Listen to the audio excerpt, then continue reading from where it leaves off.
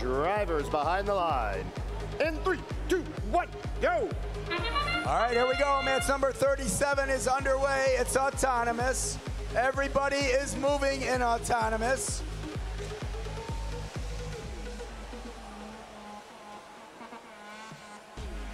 Shots being put up by both the Red and the Blue Alliance. Blue Alliance with a great autonomous, about 46 points. 27 for Red. We enter into teleoperator mode. Drivers have control of the robots. Everybody moving here in Newton.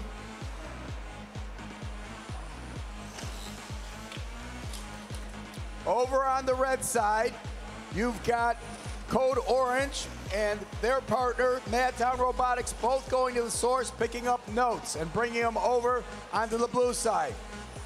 Over as well, the, at the Red Alliance, you've got Robo Kryptonite picking up notes off the ground. They're underneath the red speaker, loading it up. They shoot it up, but it misses. They're going to pick up another one off the ground or the same one off the ground and try again. Their partner, the Bullbots, unfortunately, are just sitting on the stage, and that one goes in for red. They are sitting on the stage, and they are stationary. They are not operational. Code Orange flipping a note over to the blue speaker area.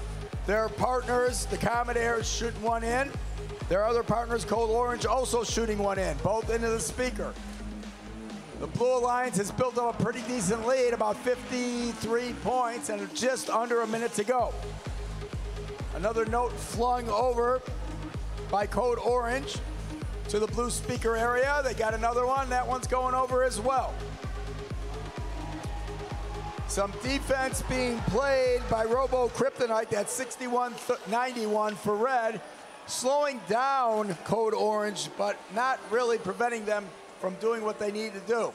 Now Code Orange picks up a note and brings it all the way to the blue speaker and they pop it in. We're, of, we're under a half a minute to go in this match. We're coming to the end game here.